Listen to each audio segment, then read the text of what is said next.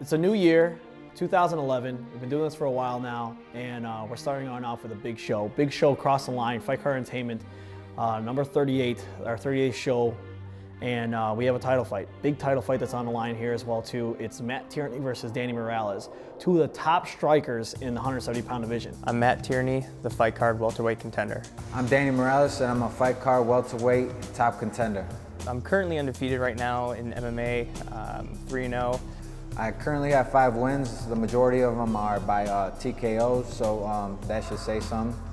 As far as Danny, Danny Morales is, uh, you know, I don't really know him personally. Uh, as far as his fighting goes, uh, I know Danny is a pretty good Muay Thai fighter, good stand-up stand-up fighter. Uh, I've seen a few videos of Danny on YouTube um, and various other websites. Um, so uh, I know Danny's a, you know, again, a good stand-up fighter. I'm not sure about his uh, ground game. Um, I'm considered more of a striker, but uh, I've been training a lot of jiu-jitsu for this fight and a lot of wrestling. I trust my skills. I'm not really looking for any weaknesses, but I'm going to be prepared for the best possible Matt Tierney.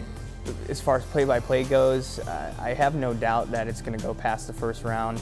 Um, I, you know, I'm actually hoping it goes into the second and third round. I, I really want to feel, since the championship fight and my previous fights, I've, they've only been, you know, a round or two. I, I really want to get tested in this fight. And uh, from what I've seen of Danny Morales and his past fighting experience, I, I think he could, he could bring it um, and, and really give me a test, which is really what I'm looking for. I mean, if it was going to be an easy win, I wouldn't want to do it. When the cage door closes, um, you know, we're going to touch gloves.